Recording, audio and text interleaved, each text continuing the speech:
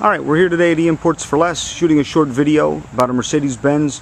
This is a GL450. This is their big SUV. Uh, this is a seven passenger. It is an all-wheel drive, 4MATIC. Um, so this is a GL450. Let's take a little closer look here at the condition. It's a silver car with black interior, by the way. We'll see that. But overall, this car is extremely clean. I think it's got right around 27 or 28,000 miles on it. You can see those front park distance control sensors. There's no damage.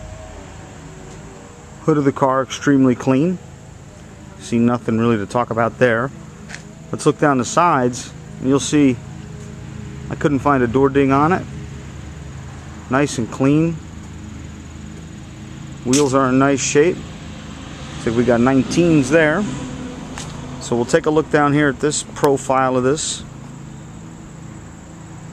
Looks really nice. See we got the roof rack up there. Again, rear bumper's in really nice shape. Glass is in good shape. See it's 4MATIC back there. Down this side, again, you're not going to find a door ding. Really nice shape. Now we're going to take a look here again right around the front of the car. Show you that there's no damage up here. Take a look at that hood. Glass has no damage. Got a moonroof there, another one in the back. So the dual glass moonroofs we've got. We do have a backup camera on this one, which is nice. See the other roof there. Tailgate is power. It does have navigation. So let's take a look inside. Do have the Harman Kardon Premium Audio, which is nice. Wood trim's got a really good look to it in here. See the nav screen there.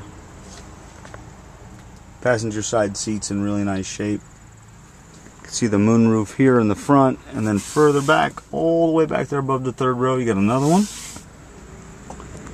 So here's your door panel got a little bit of wood there. Dual power seats you can see the driver memory buttons there. Looks nice. No issues or problems with that. So let's see in the back seat here again door panels nice and clean they do a really good job with the stitching here on these. All the way around, it's got some really good, like silver stitching on these seats. Really good look. So back seats are in really good shape. Let's take a look at the cockpit here from in the back.